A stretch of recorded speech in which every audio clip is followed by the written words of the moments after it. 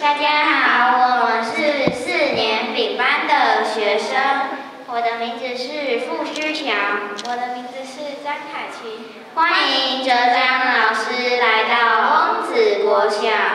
我们今天要讲的是用点心学校没自信的臭豆腐学长如何天呢？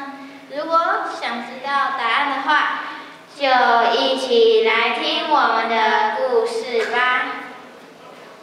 第一天，小小布丁人的考验。小小布丁人诞生了，他慢慢的成长，也变成了 Q 优生，把式手工烤布雷，因此交到许多朋友。第二篇，臭味相投点心人。用点心学校内高年级有一位人尽皆知的学长，人人都说，你看那个学长就是很爱说别人坏话的学长啊，要小心。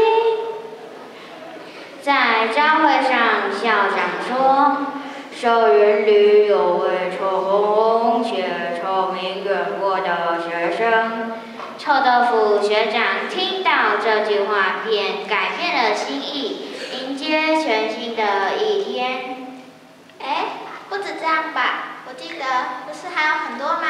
如果想知道更多的话，可以去看哲江老师的用点心学校。我们的表演到此结束，谢谢大家的聆听。